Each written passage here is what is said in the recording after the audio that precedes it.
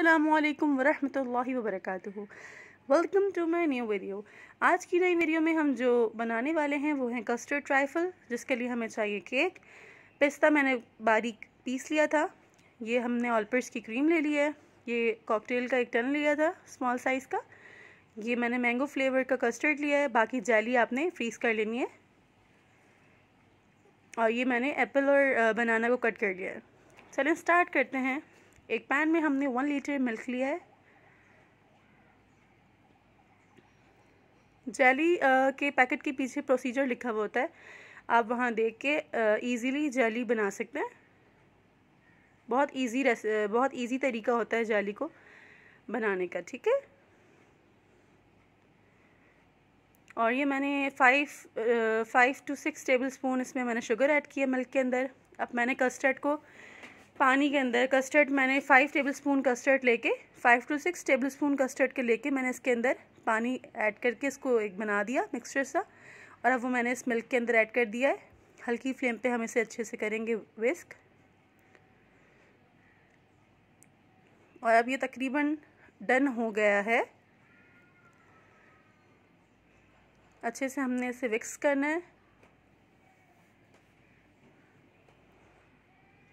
बहुत easy recipe है, बहुत सिंपल रेसिपी है।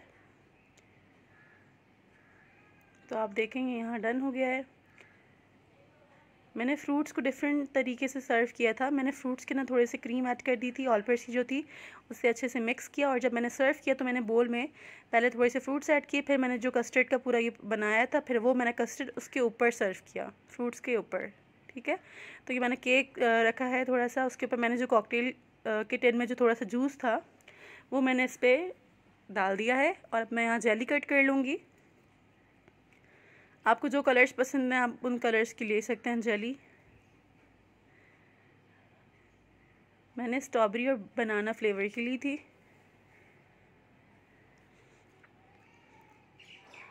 ये कस्टर्ड ट्राइफल बहुत मज़े का बना था, बहुत इजीली बन गया था, ज़्यादा टाइम नहीं लगा था।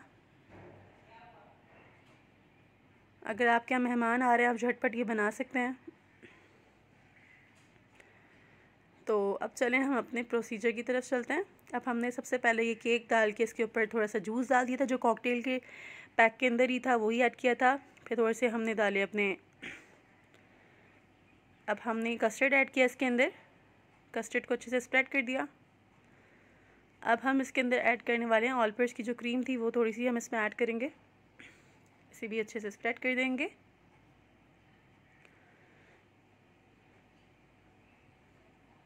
अगर आप लोग ज़्यादा मीठा खाना पसंद करते हैं तो मैंने कस्टर्ड के अंदर समझे सिक्स टेबल स्पून मैंने शुगर की ऐड किए थे। आप थोड़े और ऐड कर सकते हैं अपने टेस्ट के हिसाब से। ये मैंने अब जेली ऐड कर दी थी क्रीम के ऊपर। अब फिर से मैं एक लेयर लगाऊँगी कस्टर्ड की। मैंने जो फ्रूट्स लिए थे वो था एप्पल और बनाना इनको मैंने इसमें ऐड नहीं किया। मैंने उसको अलग से उसके अंदर क्रीम मिक्स करके उसको अच्छे से मिक्स कर दी क्रीम और जब मैंने सर्व किया तो मैंने बोलने पहले थोड़े से फ्रूट्स रखे, फिर मैंने उसके ऊपर कस्टर्ड ऐड किया। बहुत अच्छा उसका टेस्ट आ रहा था और ये जो मैंने पिस्ता बारीक पीसा हुआ था, उससे मैंने ये ऊपर से अच्छे से डाल दिया। माशाल्लाह ये हमारा कस्टर्ड ट्राइफल की रेसिपी जो थी, ये हो गई है डन ये फ़ाइनल लुक है, माशाल्लाह बहुत मज़े की बनी थी। सबने बहुत शौक सिखाई थी सबने तारीफ़ की थी तो आप लोग भी प्लीज़ ट्राई कीजिएगा। और अगर आपको मेरी वीडियोस अच्छी लगती हों तो प्लीज़ लाइक और सब्सक्राइब लाजमी कर दीजिएगा। इन नेक्स्ट वीडियो में मुलाकात होती है। अल्लाह हाफ़